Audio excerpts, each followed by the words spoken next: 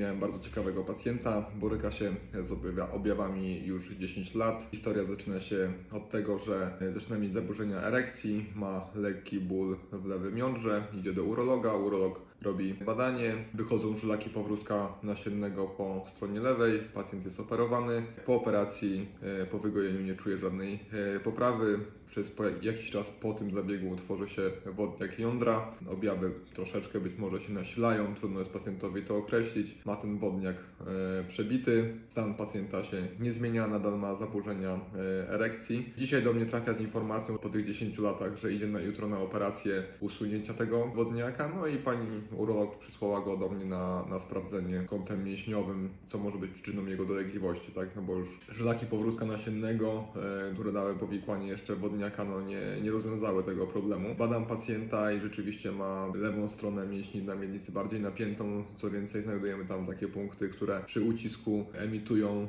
e, jego ból jądra, naciskam, ból jądra się pojawia, odejmuję palec, ból jądra zanika. Czyli pacjent ewidentnie mięśniowy do rehabilitacji, tak? I zobaczcie teraz jego, jego historię. On nie został na początku zbadany, zresztą 10 lat temu to mało kto mówił o tym, że w ogóle istnieje fizjoterapia mięśni na miednicy. I tak z tym żył, funkcjonował do teraz.